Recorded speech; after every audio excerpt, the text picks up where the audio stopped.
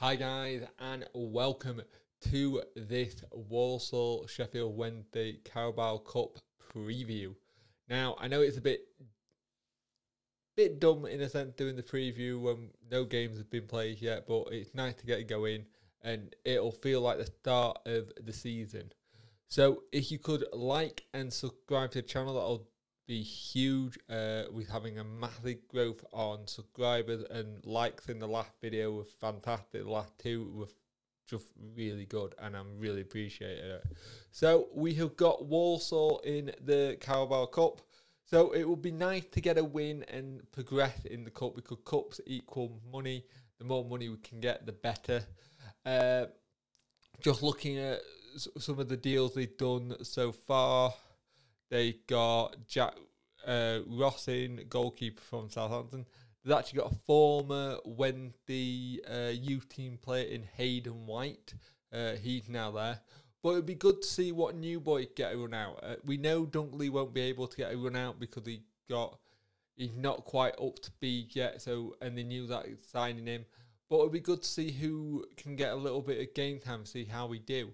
Now having the two strikers come in yesterday in terms of Windass and Kachunga is fantastic. You've got the likes of Brown, you've got uh, Fizz who can play in some really good positions.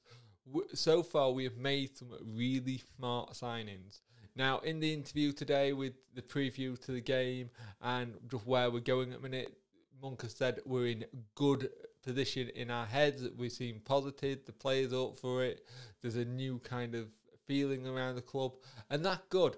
Considering with what we currently got in terms of uh, the minus twelve, the fact that you're hearing things like that, like it in the player's hand to get out of that, is fantastic to hear.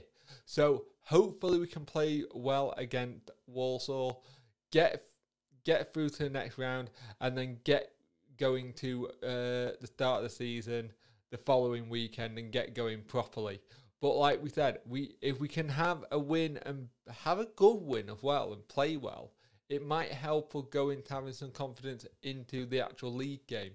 So that could help us really well in that sense.